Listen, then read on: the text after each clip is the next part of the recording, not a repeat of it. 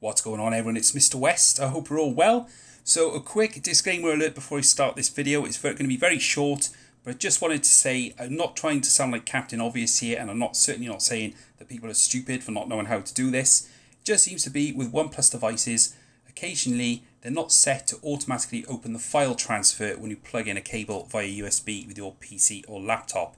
I do, do need to make you aware this is just for Windows only.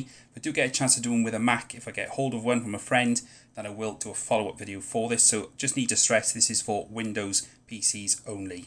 Okay, so what happens is when you first of all plug in the USB cable, is that you'll hear a ping in Windows to let you know that it's recognized a USB device. But what you will see on the screen is this. The File Explorer will open and you'll see that the OnePlus GM1913, in my case, the model number will differ depending on what part of the world you're in, but you won't be able to see the internal storage folder.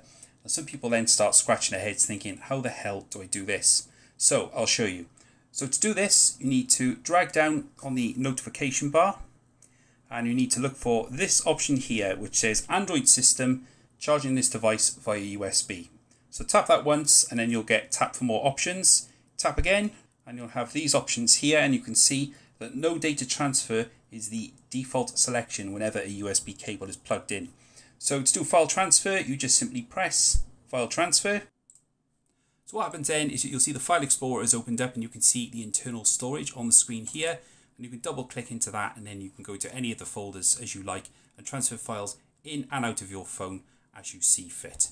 So that is basically it. That is how you do the USB transfer mode on the OnePlus 7 Pro.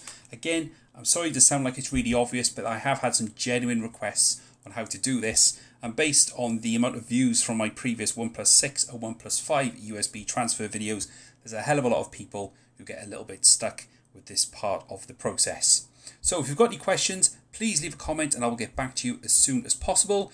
But for now, this has been my quick tutorial on how to enable USB transfer mode on your OnePlus 7 Pro.